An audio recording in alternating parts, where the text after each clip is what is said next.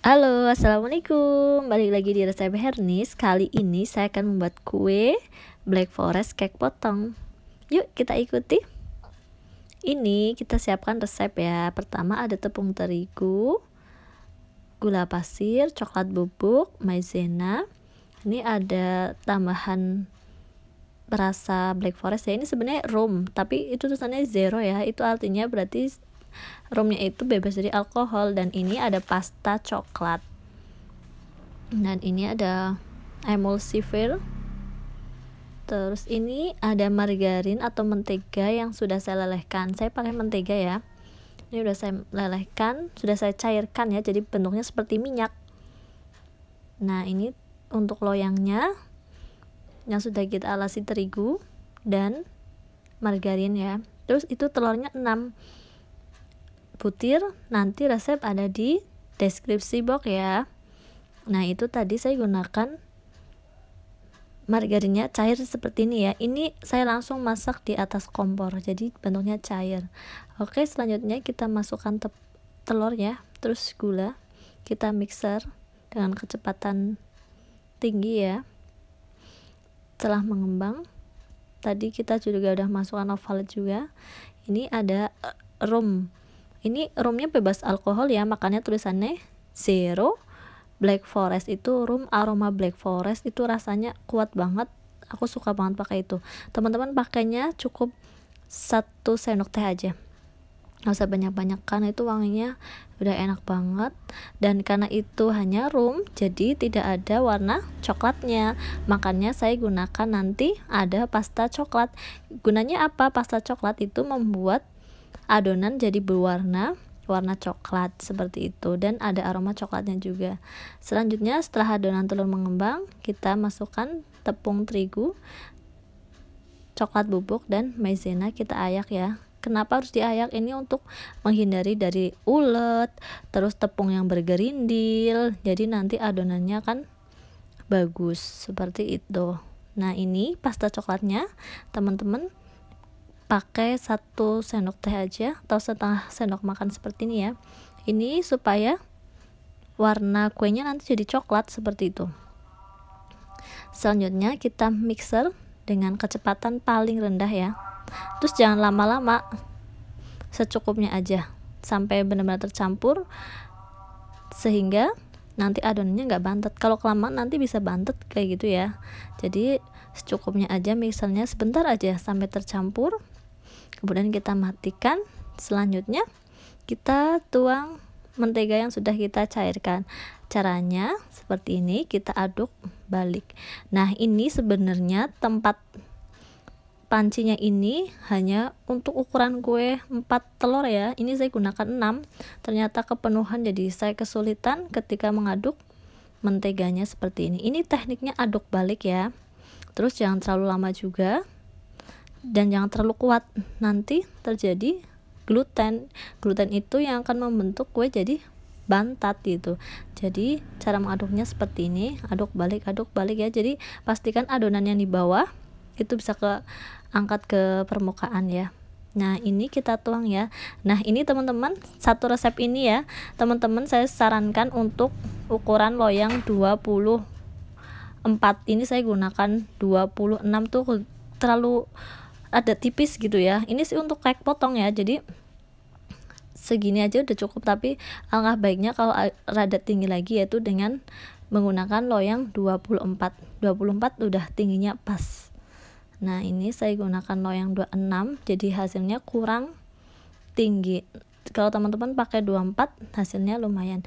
Nah tadi sebelum di oven saya hentakan dulu ya. Itu fungsinya apa? Biar oksigennya keluar dan kita oven sampai matang.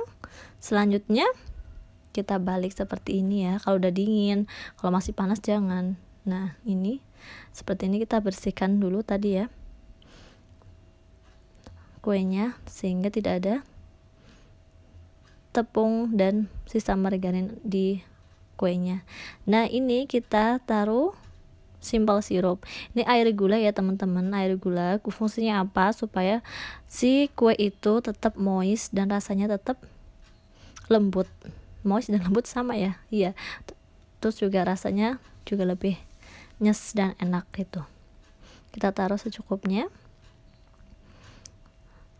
Untuk teman-teman jangan lupa subscribe. Yang belum subscribe jangan lupa di like juga ya. Dan aktifkan tombol lonceng supaya nggak ketinggalan video baru saya nah setelah kita oles dengan gula cair selanjutnya kita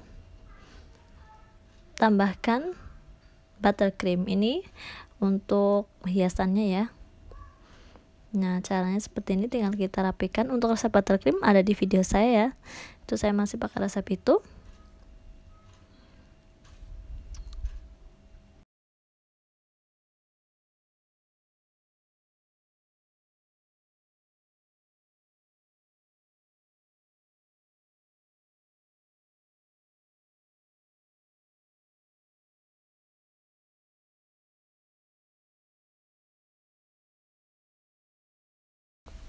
Oke, kita rapikan seluruh sisi-sisinya ya. Caranya seperti ini. Jadi ini rasa kuenya tuh kuat banget akan aroma black forestnya. Jadi kuenya rasanya manisnya pas, terus juga aromanya juga kuat banget. Aroma black forest tadi karena pakai zero room black forest tadi. Nah, selanjutnya kita buat topping yaitu dengan keju. Ini keju kita parut ya terus nanti kita buat juga coklat. Ini kejunya sudah kita parut.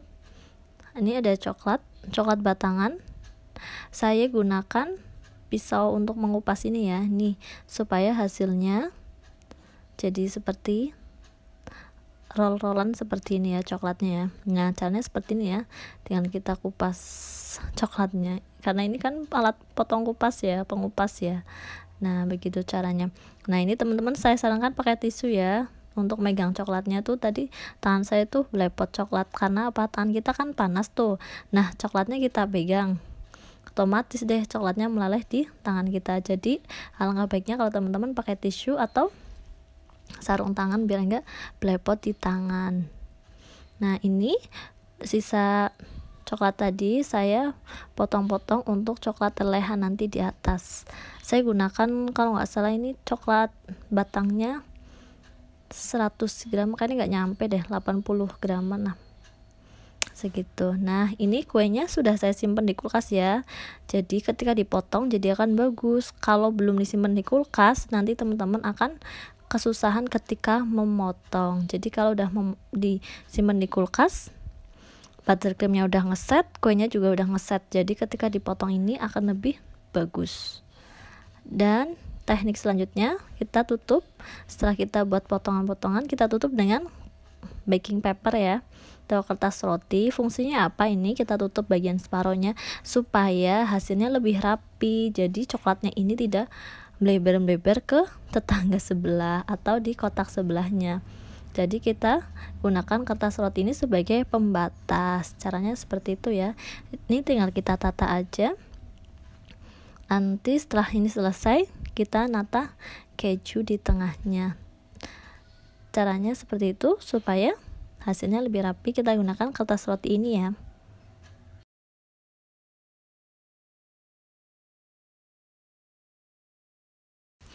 Oh iya, tadi saya lupa sebelum teman-teman mixer, pastikan alat mixernya panci untuk mixer itu bebas dari namanya air ataupun minyak.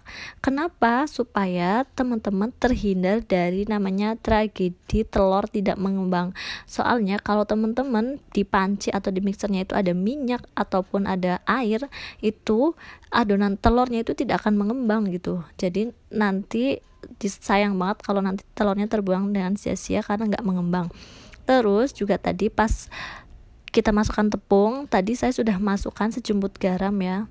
Jadi kita ayak bareng dan untuk emulsifernya saya gunakan ovalet. Teman-teman bisa pakai SP ataupun TBM jadi terserah teman-teman ya untuk emulsifernya nah ini ada coklat cair ya. Ini coklat yang tadi sisa tadi saya cairkan disetim di atas air yang sudah mendidih. Selanjutnya kita taruh di piping bag ya nah nanti piping bagnya kita potong ujungnya. Kemudian kita gambar membentuk pola zigzag atau garis seperti ini ya teman-teman.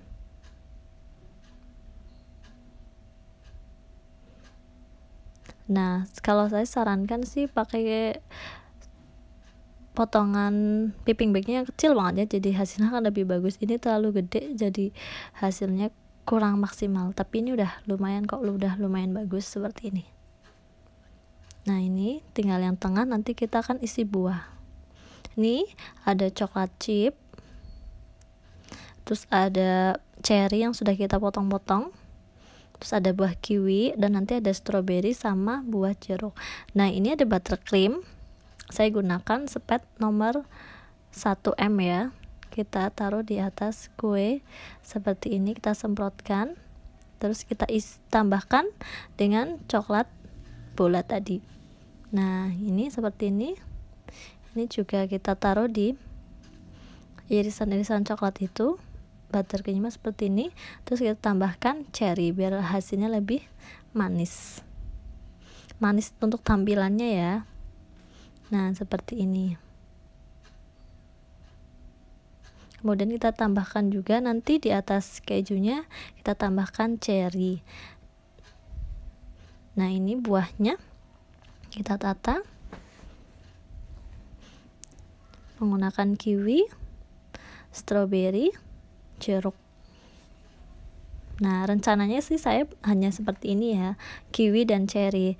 Ternyata kalau dilihat-lihat kok kurang cakep gitu ya. Jadilah saya tambahkan jeruk dan strawberry. Nah, ini ya. Jadi ini susulan nih ceritanya nih, buahnya susulan biar lebih rame dan lebih